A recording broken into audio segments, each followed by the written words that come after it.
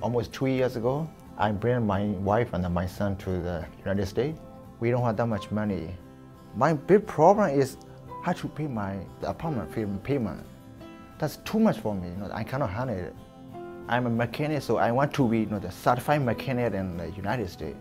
My goal is I want to open you know, my own shop.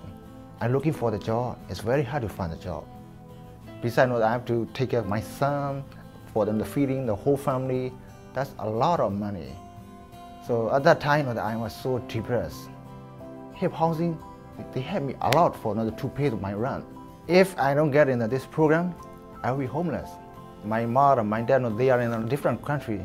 But in here, after I met the hip housing, I feel like I'm with my family because they are like my you know, the father or they are like my mother.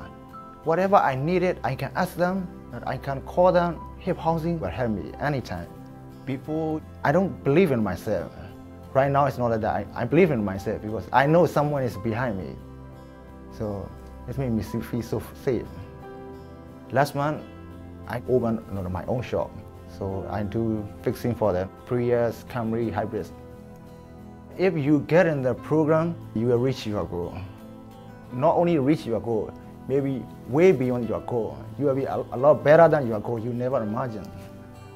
That's why every time when I talk about hip, I feel like I want to cry because they not only they're helping me, they're saving you know, the, our whole family life.